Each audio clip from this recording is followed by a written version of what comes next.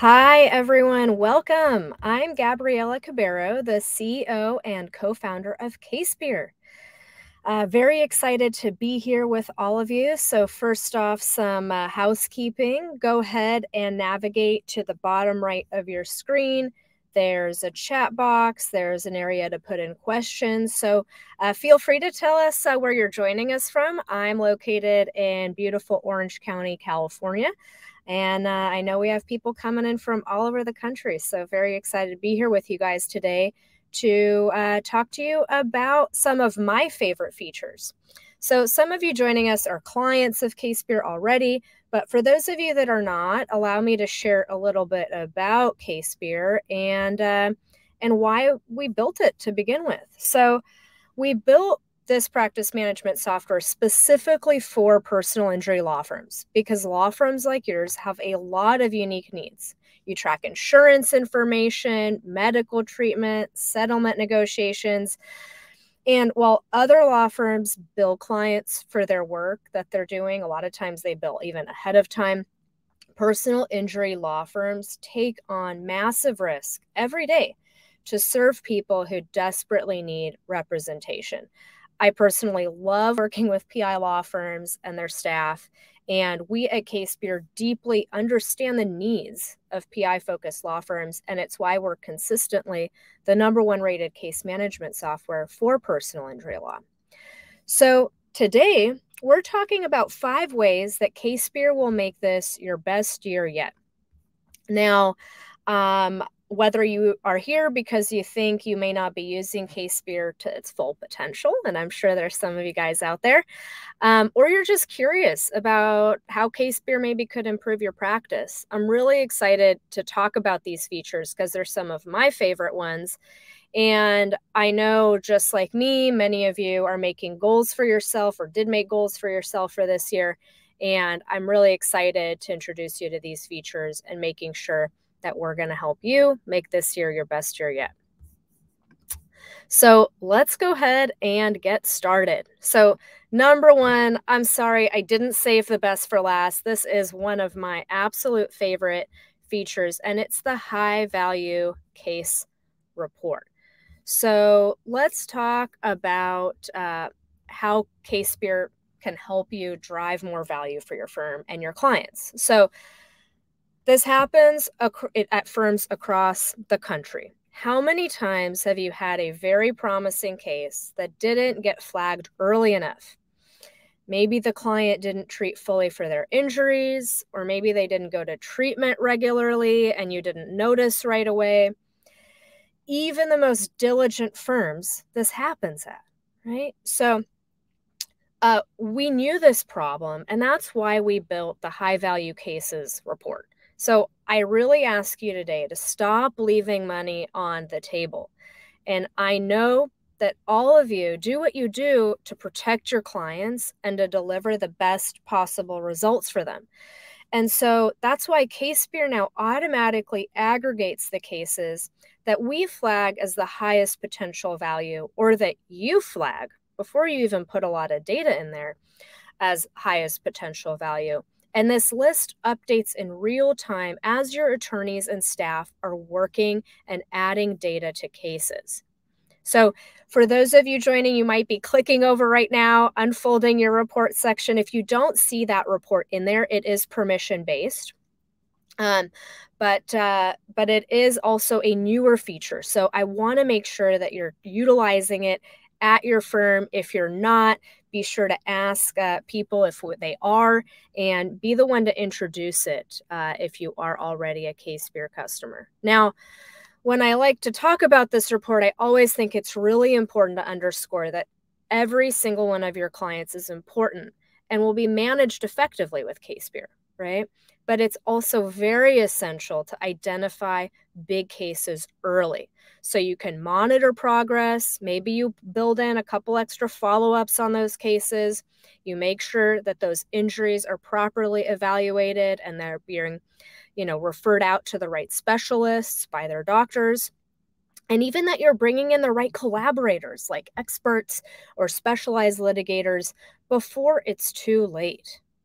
Right? And here on the screen, you can see a couple of the factors that we look at when we're flagging something as high value um, wrongful deaths, really high medical bills, uh, public or federal entities, um, obviously significant third party policy limits or UM limits. Or again, you have the ability to flag your own cases because maybe a case comes in an intake, catastrophic injuries, you don't have medical bill information yet, you don't have policy limit information yet, but you want that intake attorney or person to flag that case. You can always uncheck it later, but you also want to encourage them to flag those potential high value cases early. And then you can see here too, we also obviously let you track or enter in a currently estimated value on cases. And so on cases where you do have that, you can also use that toggle bar to filter out those cases, which is really cool. And most firms that start to use this report regularly also begin to encourage attorneys working those files to enter in those estimated values. There's a lot of really cool data that you can get out of that. So I talk to a lot of lawyers all around the country, and one of my favorite questions to ask them is if they can list their top five cases. And you'd be surprised, honestly, how many can't. And for those of you joining me today that are paralegals or case assistants, um, you should know what your top five cases are, right? And it's not because not all of your clients are important, but again, these are the clients that you want to make sure that you'll drive the highest possible value for them and, of course, for the firm, right? So these attorneys are very good at what they do, but it's simply because they don't have the right tools, right? So you should be able to sort cases by policy limits, by medical bills, by estimated case value. And these features are built into CASEpeer. So I want to make sure that you know they're there and that you're using them and if you're not using CASEpeer currently, um, you should be able to do this in your current software, or if you're not, I do encourage you to take a look. Um, so again, before we move on to the next number two favorite feature of mine, and that's going to help make 2023 great. Um, high value cases report is new, so make sure to check it out and uh, and start using it and building that into your practice if you're not using it already. All right, that takes us to number two demand and offer tracking.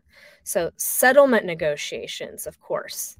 Um, let's go ahead and take a look at negotiations tracking in CASEpeer and a little bit about what that's about. So, CASEpeer's negotiation tools are unrivaled for maximizing results and understanding where everything is at your firm.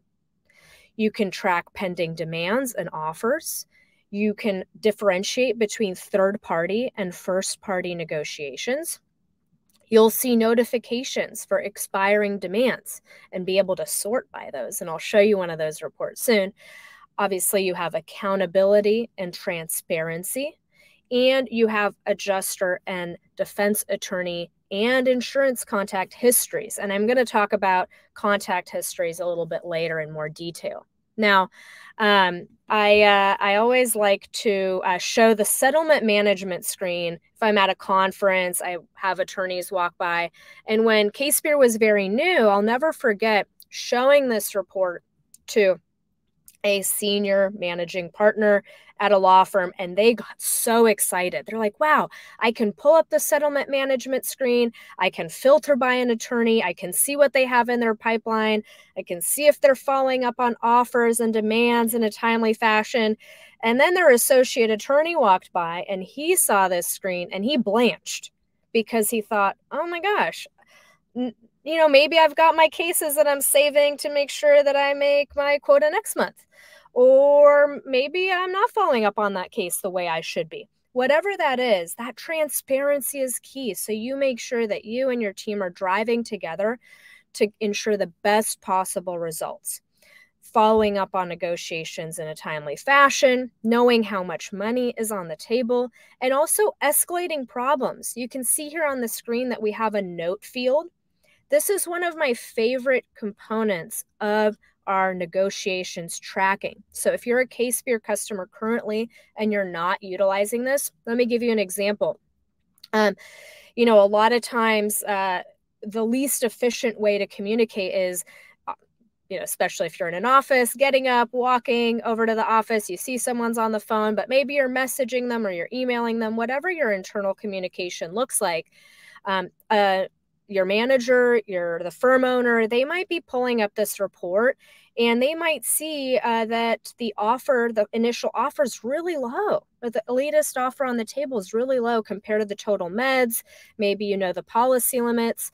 And if you don't have a note in this field, that supervisor, whether they're, you know, a, a managing partner or owner, they're going to look for a note to understand why if they don't see that, now they're going over to you and it's creating a conversation. And also, if you're an attorney that's managing, you know, 20, 50 negotiations at once, that note field is going to help you keep track of where things are at in the negotiation process as well. Because as much as you can memorize and keep everything in your head, those notes and keeping everything and everyone on the same page is good for you and good for the law firm. Um, I also really love this note field for when uh, demands fall into the issues category. So we track offers from they've been demanded, we have an offer in, here's the latest offer on a case, and now maybe a case is settled, but you're not going to see that money right away. So, for example, that might be um, that might be something like uh, minors comp, uh, minors comp, right? It's going to go to court. It might be a missing client that you can't get a hold of to sign off on the release, but you've secured policy limits. There's nowhere else to go. So these issues are going to give somebody the peace of mind to understand why there's a hundred thousand dollars in fees, for example, in the screen we're looking at sitting there and not coming into the firm right away versus the money pending. Um, for those of you that are firm owners today, too, I'll highlight this is a screen that some of our customers have printed out and taken to a bank to get a business loan. A lot of banks don't understand the nature of the PI business. You're not a um, you know, a, a, defense firm or a commercial litigation firm that can go and say, look at all this client trust money I have that I'm working and billing against, right? You have value in your firm and in your cases, but it's really hard for them to understand and wrap their head around the pipeline. And so this is another way that uh, that you can utilize this tool. So if you're looking potentially to uh, to take on investment and grow your business, making sure that you're tracking these settlement negotiations in a really diligent way will help you with that as well. Uh, just a little bit of a focus here on what that pipeline can look like. Checks in this month, checks in this year. You can filter by teams, by attorneys. If you have our uh, functionality for filtering also by office, you will have that insight if you're a firm that needs that level of, uh, of management. All right. Number three, historical performance insights. Um, and I just want a quick reminder there is the question box, chat box. If you have questions that come up, I'll try to answer them as we go. Or, of course, I'll make sure to allocate time to that at the end. So, historical performance is really important, right? Um, we all have a sense of this, so we may not be utilizing it to its full potential. So, how can you get better if you don't learn from your wins and your mistakes, right?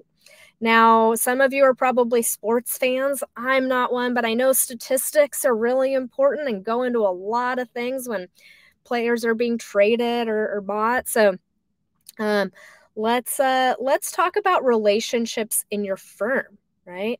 Every relationship has the potential to help or hurt your case. That's why Case CASEpeer comes with really deep contact history. So you can aggregate and benefit from your shared knowledge and experience of your firm. One attorney's experience can help drive better performance on the next time we're working with that insurance adjuster or with that um, with that uh, litigation attorney.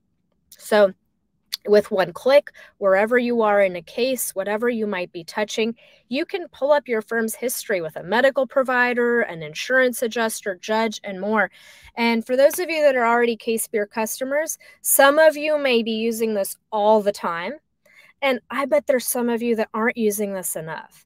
And so that's why I like to talk about this feature. So, um, the other key thing too is when you're looking up those histories, the statistics and performance will be relevant to the contact type. And of course, we want you to help you keep your data insights clean.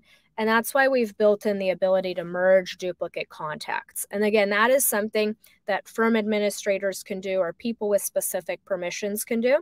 It's not just anyone that can go in and merge contacts. But if you are someone that feels like you do have a lot of those contacts in there, connect with your firm administrator or uh, office manager that can potentially help work and clean up that data. That way, you make sure that you don't have two medical providers that are exactly the same aggregating data. You want to bring those together and making sure that you're capitalizing on the data that your firm has. Um, history is leverage, right? So most firms uh, I speak with, they end up relying on their memory or their gut or maybe the memory of their longest standing paralegal. Right? They're like, oh, don't work with that doctor.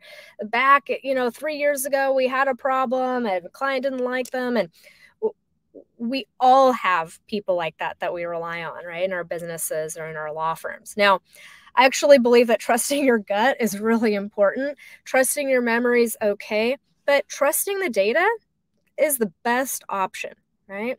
So having insights really allows you to negotiate from a position of strength.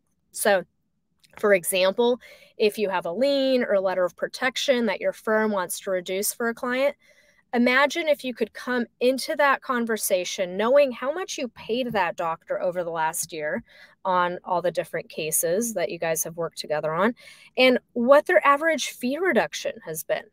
This knowledge makes negotiations faster, easier, and helps you nurture better relationships. And the piece that's most important when we're talking about data and stats is that insurance companies know your stats. They know how your firm performs. They know how often you go and litigate cases.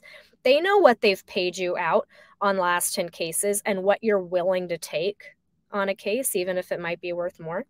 So it's time that you know your stats against them and that you start using that data against them as well.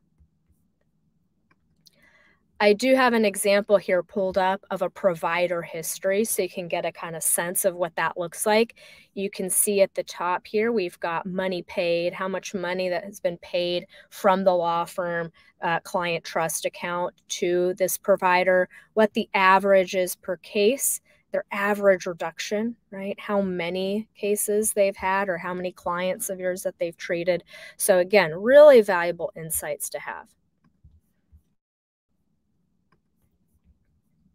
And in CASEpeer, we have contacts again, judges, attorneys, everything. So, um, and it, it is very important too to know that one attorney's experience, one case assistance experience, you want to gather that, you want to note that on these contacts so that next time someone's working with an adjuster or a judge or um, you know a, counselor, it's really nice to have that information in there and uh, and that you're you're going to benefit from it as a team. So let's talk about client satisfaction or creating happy clients, as I like to call it. So, happy clients are really good for business. I know you know this, right? Your clients are your customers, and we're all consumers of something. So, we know that the value of being surprisingly great is a lot better than being just okay, right? Um, your happy clients are going to be your least expensive source of future leads. They can help drive growth and positive reviews and testimonials, right? Uh, for those of you that are case assistants or paralegals joining us today, uh, there's nothing that feels better than having a happy client shout out your name uh, on a Yelp review, for example, or a Google review, because not only does that drive value for the business, but it, it it sure feels really good, and you know maybe you know you get a gift card to go out to dinner or something like that. So, um, Let's see. Um, by the way, with slides, we had someone ask. Uh, there'll be a recording of this, so happy to happy to share.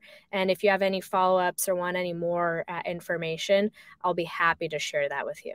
Um, so great, uh, great question. So CASEpeer has a lot of different features to ensure that you're going to surprise and delight your clients with your service beyond just delivering the best possible results, which of course we talked about some of those other tools already. So let me share some of those with you.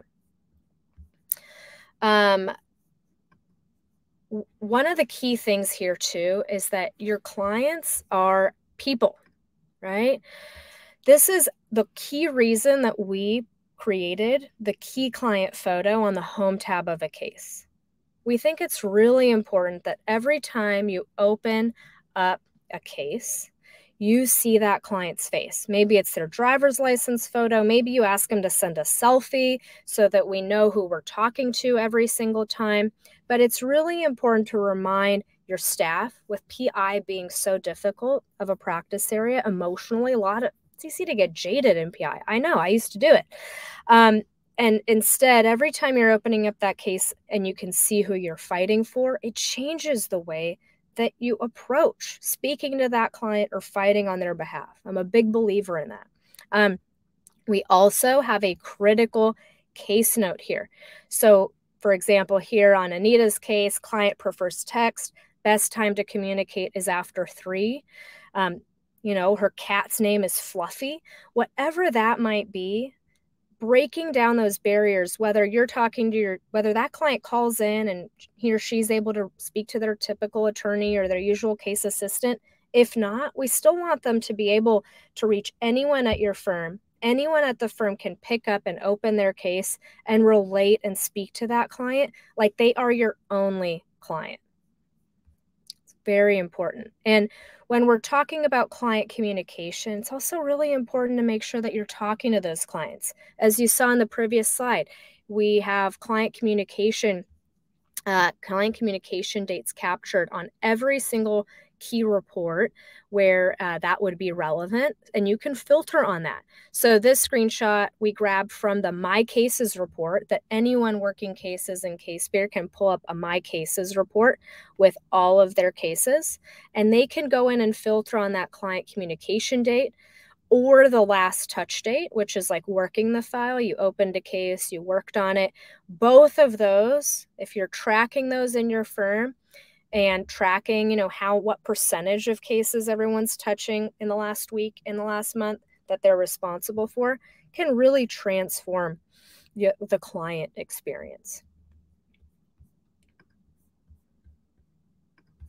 So now I want to veer into texting a little bit. As you guys saw on one of the earlier screens when we started talking about client experience, there's a lot of things that we can do with text.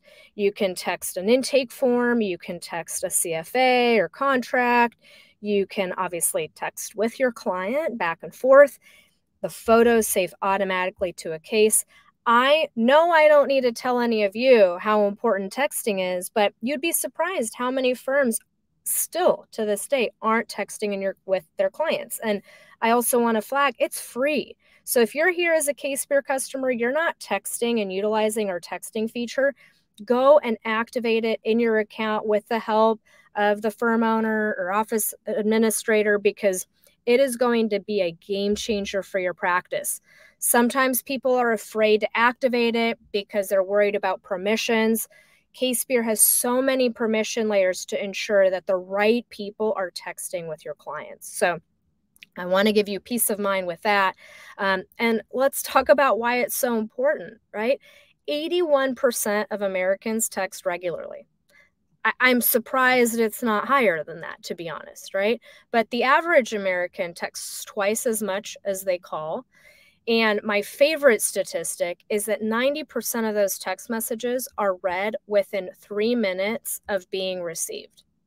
And there's no way that your client email responses are anywhere near close to that. Um, 45% of texts get a response. That's huge. Um, and the average response time is about 90 seconds, as you can see on the screen. Um, sometimes people think it's just young people. which to be fair, your client base gradually are people that had cell phones in high school, right? Thankfully, I eked out before that was the case, but you know, that's the norm now. It's a huge amount of your clients. And but people between the ages of 50 and 69, text messaging has taken over email as the communication tool most used to stay connected. So, again, reminder, it's free with your CASEpeer account. There's no reason not to be using it. It is a game changer. So that takes me to number five automation. There's so many different automation functionalities that we have in CASEpeer to streamline your practice. So, whether it's from intake or settlement or closing out a case, we want to make sure that you have the workflows built in uh, to be more efficient and effective as a firm, right? You can trigger tasks with case status changes. That's using CASEpeer case plans. You can assign it to specific people working on a case. And uh, you can use litigation event plans. Uh, you can uh, create deadlines from key dates, mark certain tasks as urgent, and of course, monitor task completion. So, specifically regarding case plan and automating tasks why is that so important? You know a lot of firms will get started with CASEpeer or maybe you're with a software that has task automation now and everyone kind of works a little bit differently. Ours is very status based which is very important i believe. But it's important because you want to create a uh, so sometimes people get started excuse me and they don't take the time to build in some of this on the front end. And I think that's a missed opportunity to really scale your firm and help deliver a consistent experience for your clients. It's easier to train new employees. Instead of someone sitting and shadowing another case assistant or paralegal or attorney for a couple days, now they can just sit at their desk and get assigned work. And as those cases that they're assigned to move through the pipeline, those tasks just start popping up and they know exactly what they're expected to do. It also helps create accountability on key steps, right? Um, a lot of attorneys I speak to say, Gosh, I really just want to make sure that we're checking everything off on an intake, that we're requesting photos, that we're ordering that police report on time. And yes, someone can check off a task and say they did it and still not do it. But now you know that you have a problem with somebody as opposed to just it not getting done. And they were able to say, oh, I forgot, right? No, if someone goes in and checks off something that they did it and they didn't, first of all, you fire that person and find someone else great to do the job right, right? Um, and it is, it simply is essential for scaling and growing your firm and working efficiently. So let's talk a little bit about litigation event plans. Um, so although CASEpeer, we have integrations that provide rules-based calendaring, we have found that a lot of law firms also prefer to have control over what appears on their calendar when. And so they like to harness CASEpeer's litigation event plans, which allows you to build out your own litigation events, your deadlines, and reminders however you like, right? So you can create a plan and you can add a trigger event like a trial date or add rules from there. Um, and CASEpeer has all kinds of options for calculating types of days or what to do about weekends or holidays. And you can also set who on the case should be assigned to key events, which is a really big uh, piece component of that. And so uh, when you go to activate a litigation plan, you can do so from a client's case and it'll automatically generate the calendar events for attorneys and paralegals. Looks like we maybe have some questions coming in, so go ahead and jump in. Um, but when we talk about uh, when we talk about automation and events and things like that, I always like to talk about whether a firm is proactive or reactive. So most law firms are reactive, right? A client calls, you're looking up, oh, yes, yeah, let's let's get on that. Let's make sure we do that or just, you know, whatever it might be, you're always so busy that sometimes you're not thinking three steps ahead. And with case CASEpeer, that's how we really want you to be managing your cases and your clients. We really want you to be anticipating their needs and anticipating what needs to happen on the case. Um, a reactive work culture, you probably all know it's pretty high stress, it's high turnover. You know, law firms are known to be stressful places to work. Um, and it also increases the possibility of error. So, the more that you can anticipate things with built in case plans, automated tasks, um, harnessing litigation event plans, other automations, which I'm going to touch on in a second, it's better for your work culture of your firm, means less mistakes happen, and it means that you're going to stay on top of your cases. We had a question about calendar. We did roll out a big calendar update a couple weeks back. And yes, I think everything has been addressed. There may be one or two things. Um, it depending on what may have affected you. Go ahead and check with our uh, client success team and they'll give you an update on that. All right, so let's talk about Zapier. This is one of my favorite things. We rolled out a Zapier integration last year. We've got some very exciting updates coming to the Zapier integration shortly. So keep an eye out for those if you're already a fan. But essentially, Zapier talks about itself as being easy automation for busy people. And in addition to some of the amazing integrations that we have built into CASEpeer, uh, and which can be managed through your administration, you we also have this integration with Zapier that allows you to connect CASEpeer with a lot of your other apps. So without any coding, right? It does require like going into Zapier, building out some automation flows, but um, it is an ecosystem of apps that's always growing and it can give you a lot of different options. I'm going to highlight a couple favorite things that um, that people use Zapier for with CASEpeer. So first off, uh, they will use Zapier to um, trigger emails, like events based off of CASEpeer case status updates, right? So maybe you will update a status from treating to pending demand. And through Zapier, you could connect it to MailChimp or Constant Contact and send an email notification to that client describing to them, hey, your case now is in pending demand. Here's what happens. Here's what this means. Contact us with any questions. And it's a really nice touch to be able to, uh, to manage uh, to manage and inform your clients. Okay. Maybe you're going to send a new prospective client that comes in via intake information about your firm. Or you could send them uh, an email to someone on your team when a client uh, texts. Um, or you could send an alert to your intake attorneys when a new lead comes in. Now, another way to do this is tracking leads and connecting with them quickly, right? So, for example, if you have leads coming in through Facebook forms or a Gravity form on your website, we have some native integrations that are helpful for that as well for tools that are specifically in the legal space. But other than that, you can also drive leads into CASEpeer with Zapier, and the options are limitless. I know there's a lot of different ways that firms right now are grabbing leads. And one of the other ways that people are leveraging Zapier is connecting it um, connect to messaging apps. And so this might be more internal notifications, like maybe there's um, message sent to incoming text Slack channel uh, if a new client text comes in, which you can get sent by email. Zapier can see that email and then trigger that text. Uh, maybe you want to send your accountant a message when the case status is changed to disbursement, for example. Lots of law firms have accountants that aren't in CASEpeer every day logging in. So that's a really good way, too, to notify them of things like that. And uh, in terms of chat, Zapier connects to Slack, Microsoft Teams, Google Chat, even Discord, which may not be as used often with law firms, but uh, the options again with Zapier are huge. Um, so, with that, those are the five features. I do want to give a shout out to all of our other amazing integrations.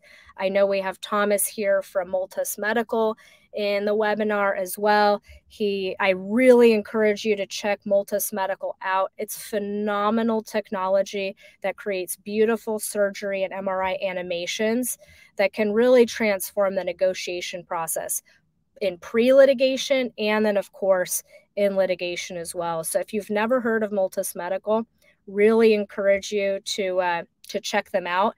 And when we're talking about high value cases, which we talked about before, the beauty is if you activate that integration in your administration settings, it will actually identify cases where Multus Medical could be used because they've had surgery or an MRI, anything like that, um, and send that information right over to them. So we make it really easy for you to request those animations. So check that out. Um, all right. Well, everyone, um, thank you so much for joining me today. I see we've got some questions and even feedback coming in from clients, which I love. I will pass all that down um, to our team and we'll make sure we look at that. One of the things about CASEpeer, which many of you know if you are current customers, we love feedback. Um, we're constantly evolving and developing the software and improving it every day based on uh, based on ideas that you have and based on the needs that change and evolve in the PI space. So thank you again for joining us. Reach out anytime if you're new to CASEpeer or uh, or don't know about CASEpeer, would like to learn more. Visit us uh, online and book a demo. We're uh, we're very happy to walk you through it and answer any questions that you may have. So thank you so much and have a wonderful day.